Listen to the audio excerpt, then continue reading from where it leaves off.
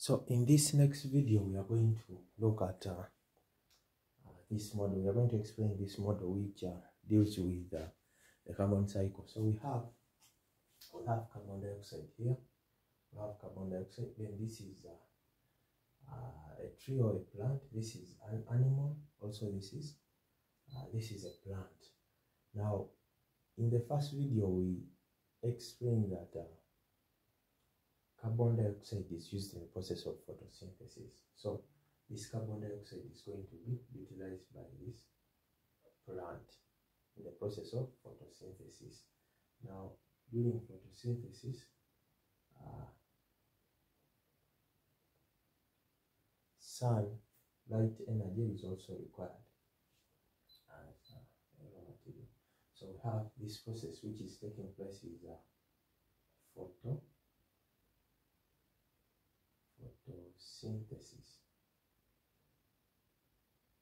Photosynthesis, this is uh, sunlight. That is sunlight. uh-huh. So what else? Then also, uh, this is an animal. When this animal respires or during the process of respiration, it releases carbon dioxide. So this is an animal. Uh, this is animal. Animal respiration. Ah, that one we are going to put an arrow up because it adds carbon dioxide to the atmosphere. Then also plants carry out root respiration. Root respiration. Then also plants respire. You have plant, plant respiration. Plant respiration. So plant respiration adds carbon dioxide to the atmosphere. Also respiration adds carbon dioxide to the atmosphere. It adds carbon dioxide to the atmosphere. Then what else? Then these plants, do you know that plants are sources of carbon? Plants are actually sources of carbon. By the way, these plants, uh, we can also use uh, decaying uh,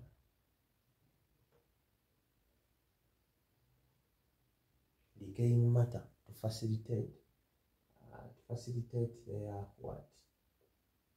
To facilitate their growth. And we can use them as a fertilizer to facilitate growth of plants. Then these plants are plants are sources of carbon. Yes. Plants are sources of carbon. So we call that carbon organic carbon. So these plants can also give us uh, organic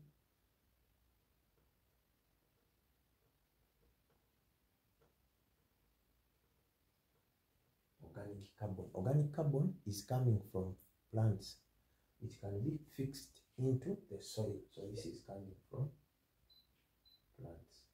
That is coming from plants. Then also animals. If animals die hmm, if animals die do you realize that bones or skeletons of animals are components of carbon. So they also, uh, when animals die, they also add carbon to the environment. So these animals can also die to give us. This is now uh, uh, dead organism. or or or decaying decaying matter uh, from animals from animals so uh, that decaying matter can be fixed into the soil, can be fixed into the soil. Next, what do we have? What do we have? We have fossil fuels. Fossil fuels which can be extracted from uh, fossil fuels which can be extracted from decaying matter from plants and animals. From plants and animals. From plants and animals. So we are going to say uh, we have this fossil fuels now. Also this fossil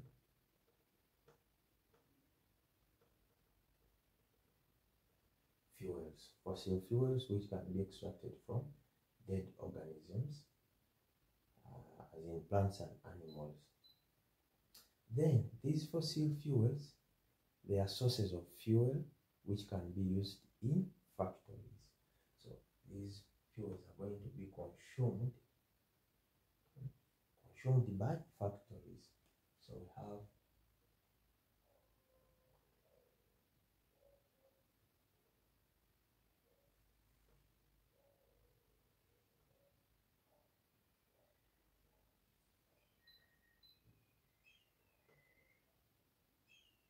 this is uh, a factory. Now they can be used uh, in the process of running machines used in factories to make things. Yeah, such things. Uh, so this is a factory. But then, if these fossil fuels are used in factories, now in the factories, during the process of using them, they can be burnt to produce energy. Mm, for example, to produce light energy.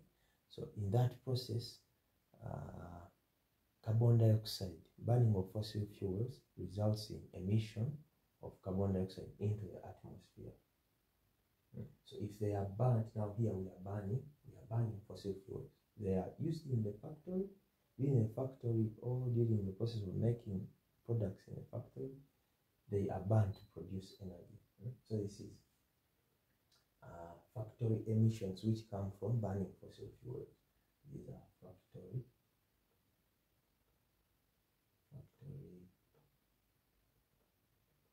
emissions. They also add carbon dioxide to the atmosphere. They also add carbon dioxide to the atmosphere. Uh, so that is the detailed explanation of the carbon cycle.